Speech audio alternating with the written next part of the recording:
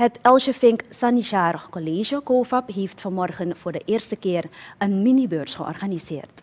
Deze beurs is voor de laatste jaar studenten van opleidingen ziekenverzorgenden, verpleegassistenten en verpleegkundigen in elkaar gezet.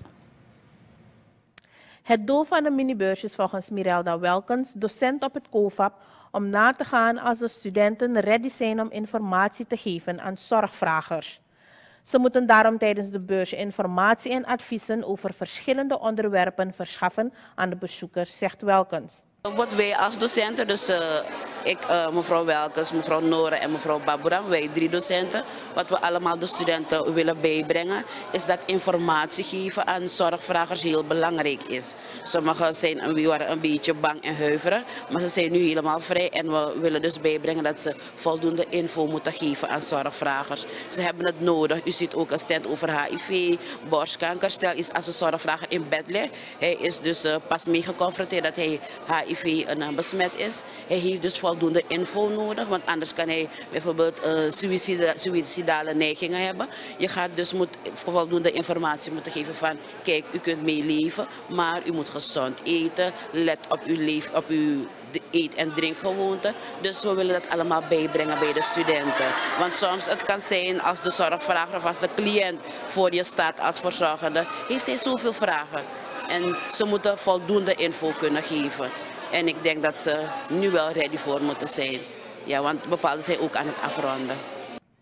Welkens zegt verder dat de beurs voor de eerste keer zo groot is georganiseerd. Buitenstaanders waren ook vrij om meer informatie in te winnen. Bijkans 90 studenten hebben aan dit project gewerkt.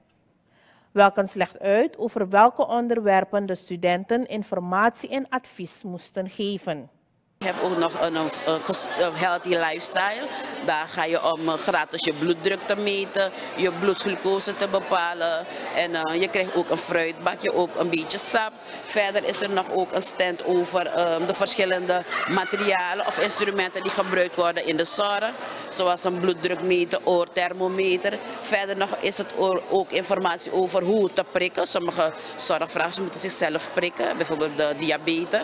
Je kunt daarvoor daar bij de stand en dan krijg je genoeg info hoe dat te doen. Dus er zijn nog ook nog een paar andere stands over uh, het geven van medicijnen bijvoorbeeld. Sommige zorgvragers een, um, schieten tekort in de kennis daarvan om medicijnen in te nemen. Er is ook een stand daarvoor en dan krijg je voldoende informatie hoe medicatie in te nemen op de juiste tijdstip. Mirelda Welkens, docent op het Elsje Vink Sanigaar College COVAP. Zij sprak vanmorgen tijdens de eerste minibeurs georganiseerd door de laatstejaarsstudenten van de opleidingen ziekenverzorgenden, verpleegassistenten en verpleegkundigen. De minibeurs is gehouden in de kantine van het COVAP.